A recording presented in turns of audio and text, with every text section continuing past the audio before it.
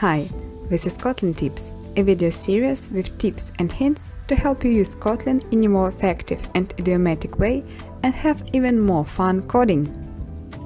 Today, we will play with cats and strings. There are some hidden gems in the Kotlin standard library that can help you work with them. Tip number 1 Functions such as remove prefix, remove suffix, and the shorthand for both, remove surrounding, can come in quite handy in the right situation. Tip number 2.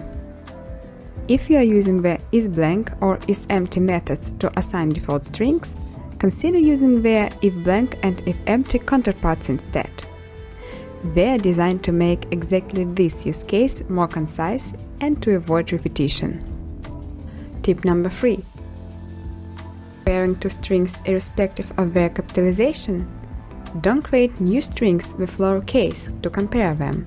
Instead, use equals, which has an option to ignore case when comparing two strings.